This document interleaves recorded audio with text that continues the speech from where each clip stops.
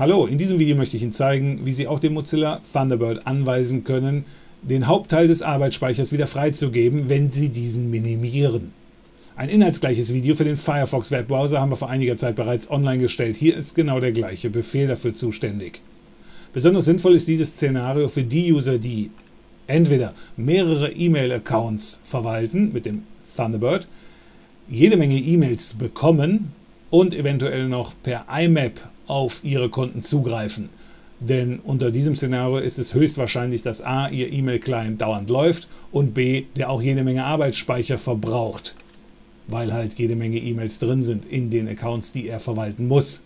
So, in diesem Szenario lohnt es sich jetzt nicht wirklich. Sie sehen, ich habe hier nur einen Account, ich habe nur wenig E-Mails und ich greife auch noch per Pop drauf zu. Das können Sie jetzt zwar nicht sehen, können Sie mir aber glauben. Und deswegen verbraucht er jetzt in diesem Szenario auch nur 40 Megabyte. Ist jetzt nicht so viel. Auf anderen Rechnern sind das schon mal ruckzuck 250 Megabyte. So, und dadurch, dass wir wegen des IMAP-Zugriffs den Thunderbird immer laufen haben, macht es natürlich Sinn, diesen dann einfach nur zu minimieren und dann verbraucht er eben nur noch einen Bruchteil des Arbeitsspeichers.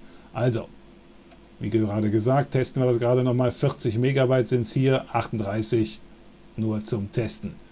So, wir gehen auf Extras, Einstellungen, haben wir hier oben unsere Icons, da gehen wir auf Erweitert, dann haben wir hier unsere Karteireiter, da gehen wir auf Allgemein und wir haben hier Konfiguration bearbeiten. Da klicken wir drauf und die User des Firefox Webbrowsers, die kennen das im Großen und Ganzen bestimmt schon. Wir haben hier wieder unseren Warndialog, da klicken wir drauf. Wir versprechen, dass wir vorsichtig sind. So, wir geben jetzt einfach mal ein config.trim Strich unten on Strich unten minimize config.trim Strich unten on Strich unten minimize. Also, wenn der Eintrag bei Ihnen schon vorhanden sein sollte aus irgendeinem Grund, dann müssen Sie den auf True setzen, vorausgesetzt er ist dort nicht. Vorausgesetzt er ist halt auf False. So, wenn der jetzt wie in diesem Beispiel, die Installation ist relativ frisch, da ist er noch gar nicht vorhanden. Nachdem wir das Ganze also komplett reingeschrieben haben, markieren wir das. Steuerung C, damit das im Arbeitsspeicher ist. So, und jetzt rechte Maustaste über diesem freien Bereich, bekommen wir ein Kontextmenü, dann können wir neu anwählen und dann wählen wir Boolean an. Klicken wir drauf. Jetzt sollen wir den Namen eingeben für diesen neuen Wert und das ist eben genau dieses, was wir im Arbeitsspeicher haben. config.trim-on-minimize, klicken wir auf OK. So, jetzt sollen wir den Wert angeben und dann müssen wir natürlich jetzt hier das Ganze auf True setzen. Klicken wir auf OK.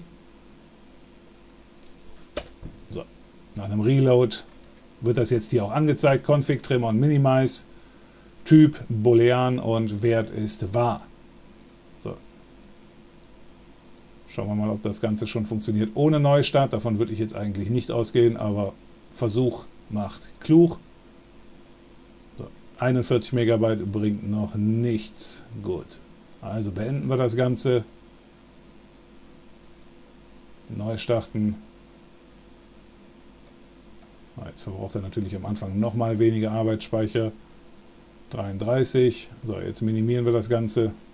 So, und jetzt sehen wir hier gerade Jetzt hat er nur noch 8. Ne, 13. 8 hatte er eben, bevor ich hier rangezoomt bin. Also, wie gesagt, hier bringt es mir jetzt effektiv nur 50%. Allerdings, wenn Sie Heavy-User sind, dann bringt es bei Ihnen mehr.